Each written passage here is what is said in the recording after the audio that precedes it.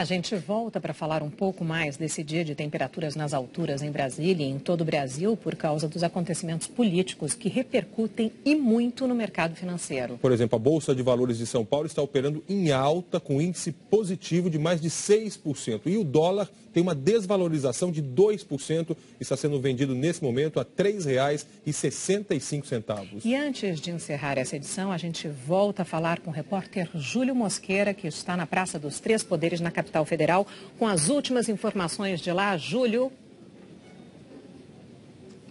Sandra, acabaram as manifestações aqui na Praça dos Três Poderes. Tudo muito tranquilo aqui em frente ao Palácio do Planalto. O policiamento continua bastante ostensivo, vai ficar assim o dia inteiro por precaução. Mas quem tem uma visão melhor da esplanada dos ministérios é o repórter Fabiano Andrade, que está lá em cima no Globocop. Fabiano.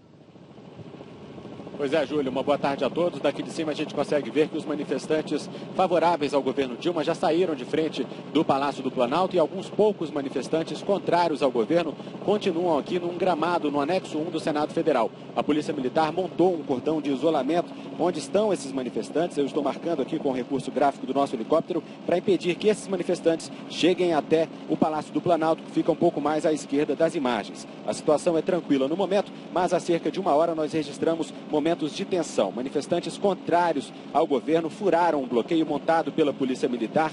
Homens da cavalaria tiveram que entrar em ação. O manifestante a favor do governo puxou a bandeira de um contrário e aí teve início uma grande confusão. Uma pessoa foi presa. Júlio Mosquera.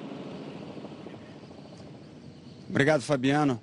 Olha, no início da edição do jornal, hoje, nós dissemos que o juiz Itagiba Cata Preta é, foram encontradas algumas imagens dele em uma rede social participando de manifestações, manifestações contra a presidente Dilma. Agora há pouco, a produção do jornal hoje conseguiu falar com o juiz Itagiba e ele disse que, de fato, participou dessas manifestações, mas que isso em nada tirava sua imparcialidade como juiz e que ele tomou a decisão com base no que está escrito no processo e no sistema judiciário e explicou o motivo de ter suspendido a posse do, ex-presidente Lula como ministro-chefe da Casa Civil.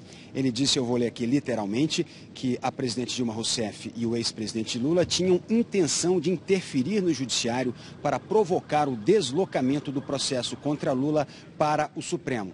E ele disse também que é, não acredita que o Supremo possa ser influenciado, mas que houve uma tentativa de interferência. A Advocacia Geral da União disse que vai recorrer ainda hoje contra essa decisão. Sandra Evaristo. Ok, Júlio Mosquera falando ao vivo da Praça dos Três Poderes. E para encerrar, então, é, Neste momento, o ex-presidente Lula não é ministro. O jornal hoje termina aqui. Nós continuamos acompanhando essa quinta-feira agitada em Brasília. Outras informações a qualquer momento em nossa programação e à noite no Jornal Nacional. Uma ótima tarde para você. Amanhã a gente se vê. Até amanhã, sexta-feira.